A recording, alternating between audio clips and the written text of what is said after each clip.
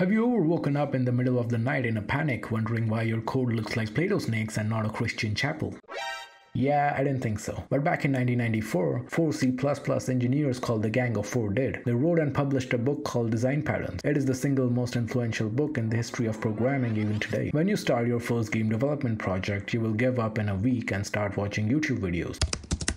With your newfound confidence, you will try again only to realize you don't speak Parseltongue. As you progress, you'll learn about design patterns and you won't have to learn the language of the snakes. But you'll soon learn that no one wants to maintain a chapel for a silly game and you'll go back to being a snake. Most design patterns belong in history books, but some are useful, some are beautiful, and some are weird because I needed a title for this video. Today we'll look at 10 of the most interesting design patterns ever engineered and how they can be used to solve multiple game development problems in the real world. Speaking of multiple, we have the singleton pattern. One of the weirdest things in programming is object-oriented design where classes act as blueprints which you can then use to instantiate as many objects as you want. A singleton is a type of object that can only be instantiated once. It seems counterintuitive but it makes total sense when you realize you need a centralized system to act as God and control every action in your game, which you can then misuse as a global warehouse for storing all kinds of data and creating spaghetti code. It's an interesting pattern to think about philosophically, but the general idea behind singletons can also be implemented programmatically. Imagine you're playing a game, but what if the game ends and you want to play again? We can't just manually add or remove or reset objects in the scene. We need a game manager to reset the entire scene on the fly. What's interesting is that we can take the starting position and set the scene to this position every time the new game starts. It's the singleton, so only one game manager exists at any point in time and follows a consistent set of rules, like in this case, updating the position of a player or removing an object when it goes past the screen, and doesn't rely on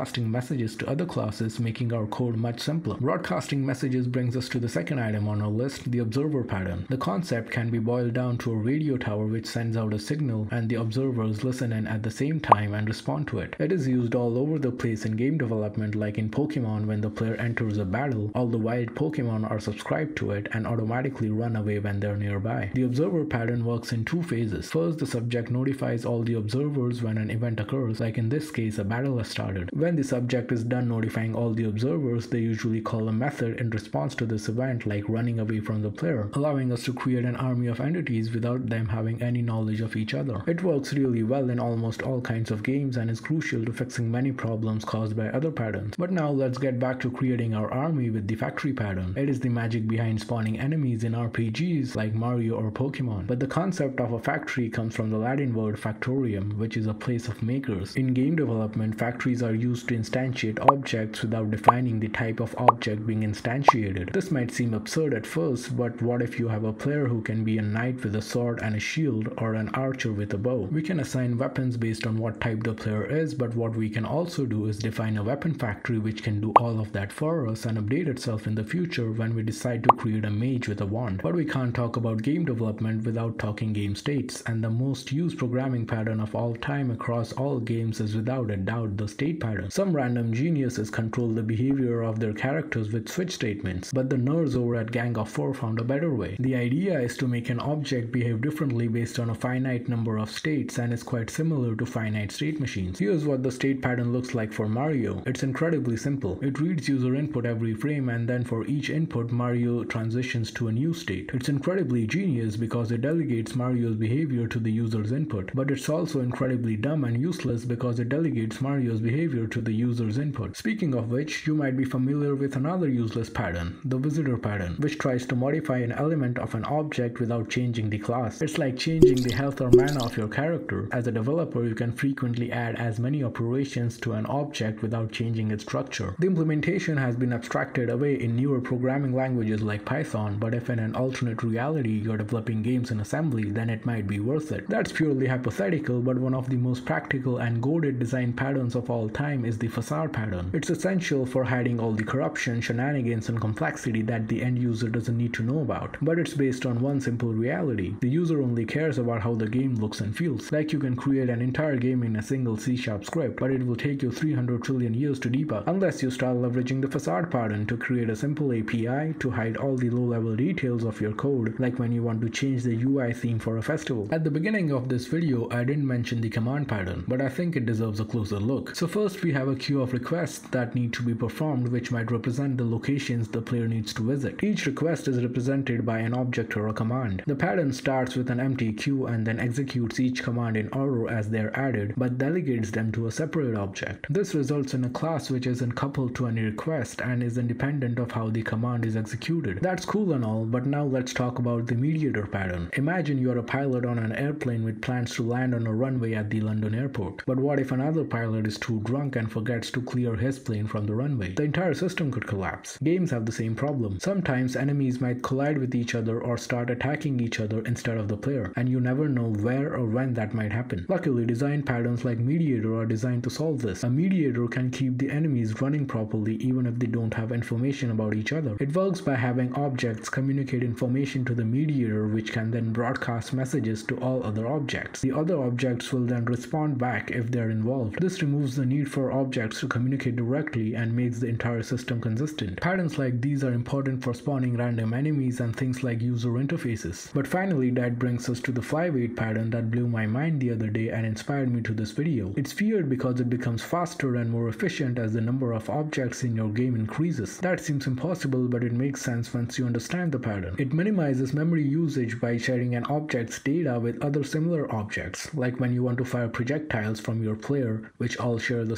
same settings. Each projectile can have its own texture but their intrinsic state is the same. This is far more practical than creating and destroying objects each time you want to fire an attack. In this case the pattern gets faster with more objects because it's able to skip a higher proportion of data. Finally I can talk about the tense pattern but instead I'll be lazy and ask you to like and subscribe instead.